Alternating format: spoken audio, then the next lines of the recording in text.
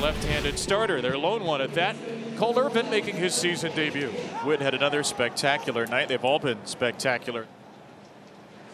How about wow. that? That is a nasty curveball from Cole Irvin, and he sweeps away Witt Jr. on three pitches. Well, if you're a pitcher in the perfect world of pitching, you throw it in the strike zone. Brings up the lone lefty in the Royals starting lineup tonight, Vinny Pasquantino.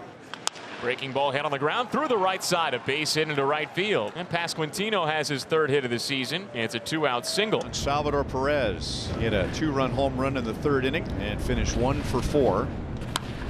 There's a base hit into left field, and the Royals have back-to-back -back hits with two outs. Nice job. Find those holes. Find them early. Okay, now, he's not going to overpower you, Irvin. And I mentioned he could touch 95, but he's more comfortable in the low 90s. So you have a chance to wait on this guy.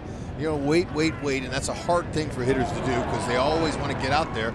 But, you know, finding holes. Velázquez had a double yesterday. Three for 10, a double, a home run, a walk, four strikeouts on the year. And he gets Velázquez to pop up. Backpedaling Henderson on rushing Cowser. It'll be Colton's ball from left. And a pretty quick inning despite the hits, 12 pitches. The Orioles will be facing Alec Marsh.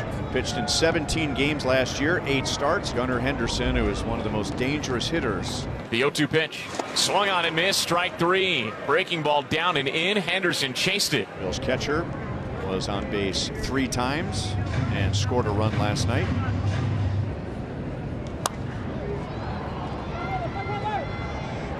Velázquez is in left tonight, and he's got it inside the line, two down.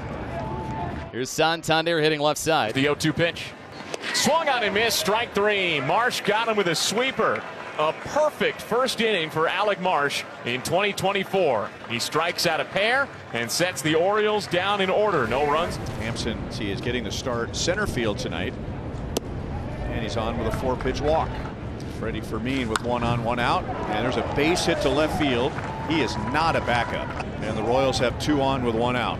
Now two on, one out for Nick Loftin. Now the one-two pitch. Swing and a grounder through the right side. It's a base hit. Hampson will be waved around third. Here he comes home. Here's the throw. He is safe. The throw is cut off. And the Royals take a 1-0 lead on an opposite field RBI hit by Loftin. His first hit of the year, first RBI of the year.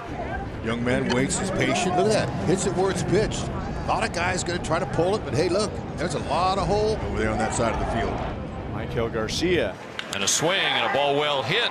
Deep left field. That's way back, and that's going to be bouncing up against that high fence out there right under the 384 sign. One run is in. Two runs are in as diving in head first to score the third run is Loftin. Fermin and Loftin both come around on a double off the left field fence. The bounce up against the left field fence by Maikel Garcia. So his fourth hit of the year. All four hits are extra base hits. That double brings in two. The Royals lead at 3 0. It's three runs have scored here in the second. Bobby Witt Jr. is the batter. And no. down he goes on a high cutter. Yeah, backup cutter. Bobby Witt fouls off, what, four pitches and then kind of frustrated because this one, again, you think it's going to break and it just spins. Pasquantino oh, smacks wow. this one to second base. Tony Kemp picks up a hot shot and ends the inning. Top of the third. It is a 3 0 Kansas City lead. Cole Irvin in need of a bounce back inning after he allowed three runs in the top of the second. Perez reaches down to get one, smacks it deep out to left field. Colton Cowser is there right in front of the 376 point to put Salvador Perez away. Makes this pretty routine. Played a lot of center field. Easily runs that ball down. On Velázquez, he flied out to left field to end the first inning. The 2 2. Swing and a miss. He struck him out. A changeup to get Velázquez chasing. And for Irvin, his third punch out. Jordan Westburg will try to be the first Oriole to reach base tonight. Westberg left side. That ball is fair. And it clanged off the pole. So Jordan Westburg has an automatic double. He was the last Oriole to reach last night. He is the first Oriole to reach today. And that one was hit very hard. And we saw Westburg do this a couple of times last year, turning on inside pitches, and looked like that one one hopped off the foul pole down the left field line. Here's Colton Cowser. Cowser cue shot. Oh, that's a little tricky one.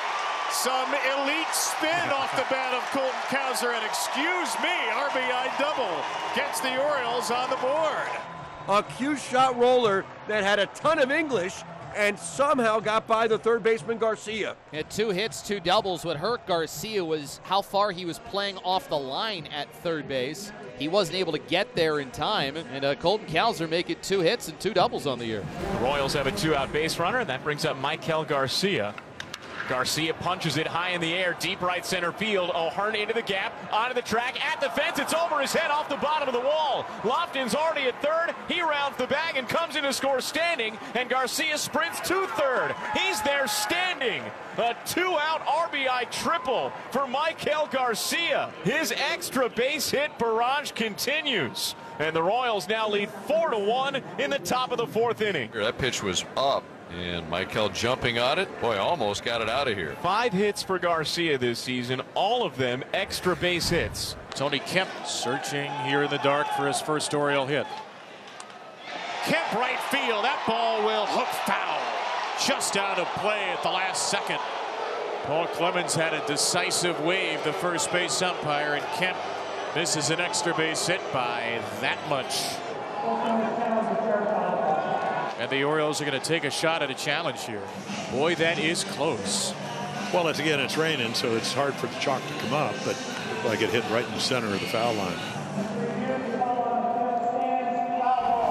Kyle Isbel, who came on as a pinch runner for Nick Loftin. Here's Mountcastle. This is all he does. Yeah. All he does is rob base hits. The hand's a little dirty, but the dirty work is once again sterling for Mountie. Well, the footwork superb. Otherwise, you don't get to it.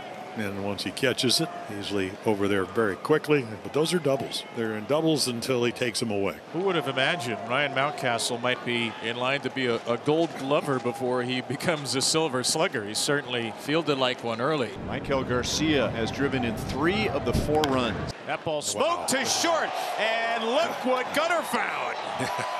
Well, you think of him as a hitter, but he can really play shortstop. Just soft hands. And once he catches it, it's a done deal. The Orioles have been held to just three total hits tonight. And now left-hander Will Smith takes the mound looking for his first save of 2024. Rutschman elevates one into left field. That ball is well hit, but that ball is going to be tracked down by Hampson against the fence. A great play from Garrett Hampson. One down in the bottom of the ninth. And I'm sure Will Smith did not want to have that pitch locate. That changeup he left up. And thank you for moving the wall back, Orioles. Bottom of the ninth, one out now. Santander is down on strikes, two away. Now it'll change the speeds. Had him out in front. Back to Smith. Mountcastle is out. And the Royals even the series with an excellent night on the mound. Go ahead and get jiggy with it. It'll work for the first save in his career here with the Royals. We love it. Nice job. Way to shut it down, fellas.